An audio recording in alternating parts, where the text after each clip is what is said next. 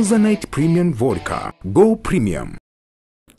Mashambulizi ya makombora ya Urusi yaliteketeza soko kuu katika mji wa Sloyansk mashariki mwa Ukraine na kuua watu wawili na kusababisha majeruhi saba, afisa mmoja alisema. Huu ni ugaidi mtupu. Mkuu wa mkoa wa Donetsk Pavlo Kilenko alisema. Meya Vadim Liak alisema Sloviansk ilikuwa ikishambuliwa na askari wa Urusi kutoka maeneo ya karibu, kwani inakuwa jiji la mstari wa mbele. Alipochapisha picha za moto huo wa Jumanne kwenye Facebook akielezea mashambulizi makubwa ya makombora na kuwataka watu kusalia kwenye makazi, Urusi inatafuta kukamata eneo lote la viwanda la mashariki la Donbas. Eneo hilo linaundwa na mikoa miwili, Luhansk na Donetsk, baada ya kutambua uhuru wa waasi katika majimbo mawili. Huko Rais wa Urusi Vladimir Putin aliamuru uvamizi wa Ukraine mnamo tarehe 24 mwezi Februari. Wiki iliyopita jeshi la Ukraine lilisema lililazimika kuondoka Lysychansk, ngome yake ya mwisho iliyosalia huko Luhansk, chini ya mashambulizi makali ya Urusi. Imesema wanajeshi wake sasa wanaimarisha ngome ili kulinda maeneo inayoshikilia Donetsk ikiwemo Sloviansk. Mkuu wa mkoa wa Luhansk selhi Haidai alisema Jumanne kwamba mapigano makali yanaendelea kwenye ukingo wa mkoa wa Luhansk karibu na Lisiansk. Adui ametuma vikosi muhimu, alisema, akiongeza kuwa Urusi ilijaribu kujaribu kutuma vikosi vyake zaidi kuvuka mto kwa kujenga madaraja ya muda. Bwana Haidai alisema Warusi walikuwa wakiendeleza hasara kubwa.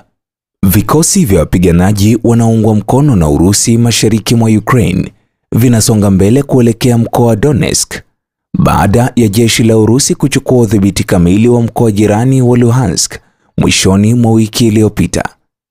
Shirika la habari la TASS limemnukuu kiongozi wa Jamhuri ya Watu wa Donetsk inayotambuliwa na Urusi, Denis Pushilin, akisema lengo la kusonga mbele kwa vikosi hivyo ni kulikamata eneo lote la Donbas lenye mikoa Luhansk na Donetsk.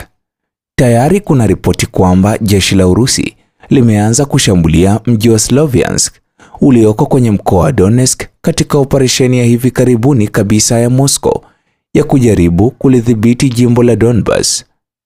Meya wa jiji hilo Vadim Liak amearifu kupitia mtandao wa Facebook kwamba vikosi vya Urusi vimeyalenga kwa makombora maeneo kadhaa ya mji wa Sloviansk hii leo kutafuta hifadhi haraka kwenye mahandaki. Na mataifa kadhaa leo yameahidi kuiunga mkono Ukraine katika safari ya kuijenga upya nchi hiyo iliyoharibiwa kwa vita na ambayo inahitaji mabilioni ya dola kufidia hasara iliyopatikana tangu ilipovamiwa kijeshi miezi mitano iliyopita. Katika siku ya mwisho ya mkutano wa siku mbili uliofanyika kwenye mji wa Lugano kusini mwa Uswisi, viongozi wa nchi 40 wametia saini azimio linaloweka misingi ya kujenga upya Ukraine. Rais wa Uswisi Iganzio Cassis aliyekuwa mwenyeji mwenza wa mkutano huo amesifu azimio hilo akitaja kuwa hatua ya kwanza muhimu kwenye safari ndefu ya kuitengeneza tena Ukraine wakati huu wa vita na hata baadaye. Mapema leo, Waziri Mkuu wa Ukraine Denis Shmyhal aliwaambia mkutano huo kwamba gharama za kuiwezesha nchi hiyo kusimama tena zinafikia dola za Kimarekani bilioni 750 na ahadi zilizotolewa ni juhudi ya mwanzo ya mchakato mrefu. Naam, huo ndo mkusanyiko wa matukio yaliyojiri juu ya vita vinavyoendelea baina ya taifa la Urusi na taifa la Ukraine.